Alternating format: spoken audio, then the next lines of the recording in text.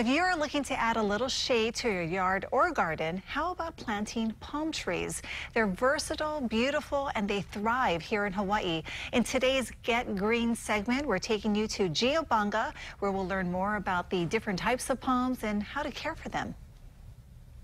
You know, it's kind of a cool thing. When you think of paradise, well, sometimes you think of palm trees, you think of palms. And Andrew from Geobunga is here today to kind of talk about the wonderful palm mm. trees. There's so many out there. Mm. Talk about that and how we really utilize that in Hawaii in our life. Well, you know, I mean, we're surrounded by palms. We live in the tropics, subtropics. So, you know, that palm tree is the icon of the tropics, you know, mm-hmm. of paradise. Mm-hmm. We're going to be talking about rhapis palms, areca palms. Um, primarily, these two is multi-trunk palm. These are palms that has several trunks that are coming up, lots of leaf structure coming out of it. You'll be able to enjoy at our height, five, our six foot, 7 mm-hmm. foot, mm-hmm. um, yet also um, be able to kind of have something that fills in and it's you know it gives you a broader aesthetic um, but we want to be able to get something that's going to be able to grow well in that filtered light, which mm. is usually your lanai, your entry, or your living area. All right. Well, speaking of going on, I think you're going to go ahead and take us down. We're going to yeah. take a look at some of these palms, right? Correct. Awesome. Well, here we are. We're in um, Geobunga's greenhouse, and this is we're growing. This section of the, the greenhouse is full of areca palms. The arecas are a much faster growing palm um, but a very affordable palm because they go quickly. Um, they're an entry level palm. They grow well, multi trunk.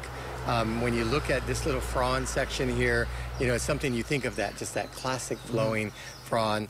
Um, they will grow in full sunlight, but they'll also grow in filtered sunlight. So it's, and they will stay, you can keep them small depending on what you put in, and they can get up to 20, 30 feet tall.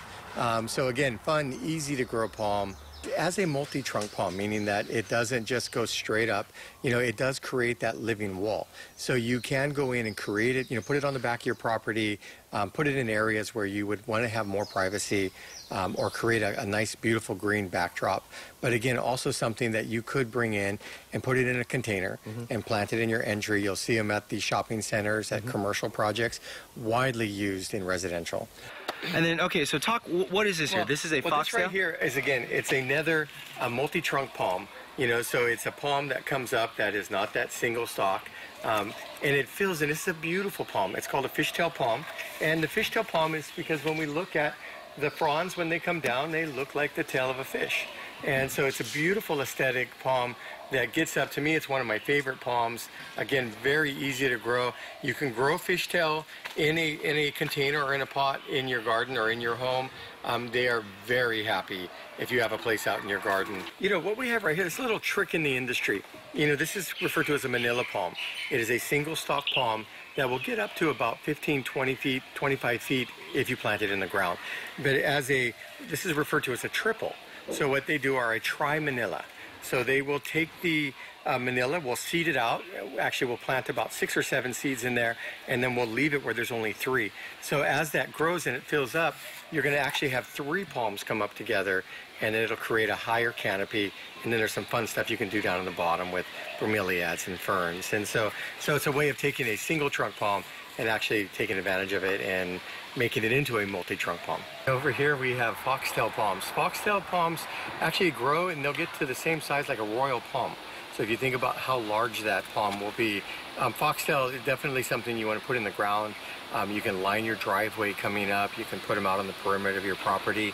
Um, they call it the foxtail. It's, these are juvenile plants right here, but as they get larger, the fronds actually create like a billowed tail, and it looks like a the shape of like a foxtail. So it's interesting as we talk about fishtails and foxtails, um, fun plants, fun names. Um, but these are your um, single trunk palm variety.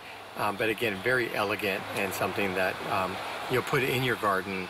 And over the course of 5, 10, 15 years, you'll have an amazing palm. You know, speaking of super easy, so if the best thing, if people want to find out and see all these different palms that you guys have, best thing would be to come see you guys. What would be the best way to come and learn about all the different plants and, and how to keep them and grow them in the best way? Well, you know, we're going to be rotating palms into one of our workshop schedules. Um, right now, um, it's slated for later in the summer. You can come down to, you know, you can go see us in town and you can talk about palms. You know, we always encourage people take the drive out to the country. Mm. You know, when you know if you come out to the Windward side, Waimanalo Valley, it is a beautiful um, place to come. You can come out. There's a series of nurseries out here. There's organic vegetable farms.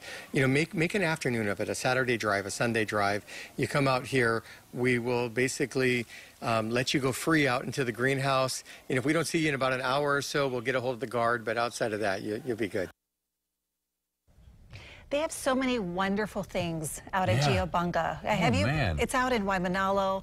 I've been there many of times, um, but they're so knowledgeable, so helpful, Yeah. and they also offer free monthly workshops on different topics. Oh, really? So it's Wow. really good. Yeah. That was an interesting bit. It is. It really was. Yeah, they, they're great folks over there.